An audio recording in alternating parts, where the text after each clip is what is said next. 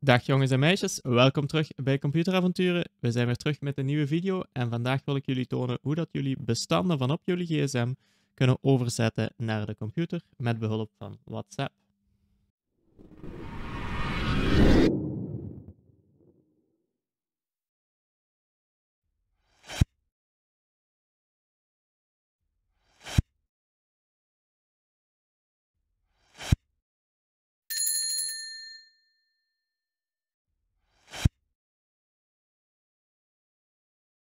Eerst en vooral zal je in je favoriete browser moeten gaan naar web.whatsapp.com.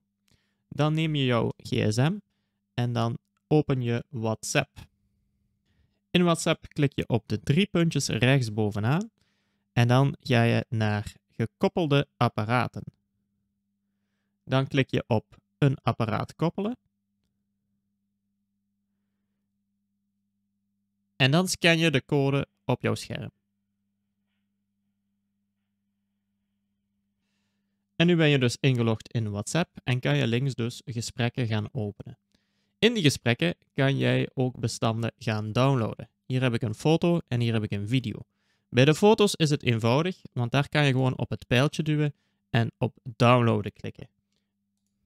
Dan wordt die onderaan hier gedownload. Bij de video's heb je wel een probleem. Als je daar op het pijltje drukt, zie je niet download staan.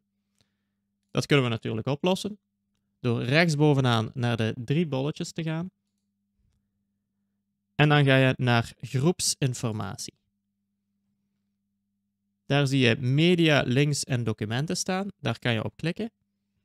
En daar vinden we onze video terug. Als we dan op het vinkje klikken linksbovenaan, dan kunnen we hier rechtsbovenaan op het download-icoontje klikken. Als we daarop klikken, zien we dat we nu wel de video kunnen downloaden. En zo kan je dus zowel video's als afbeeldingen downloaden in WhatsApp. Ziezo, en zo kan je dus heel snel foto's en video's van op jouw gsm overzetten naar jouw computer.